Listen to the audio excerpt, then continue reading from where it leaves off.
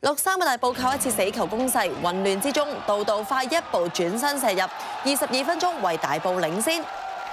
兩隊今場嘅節奏快上快落，華道斯嘅頭槌被曾文輝救到，咁傑至半場落后一球。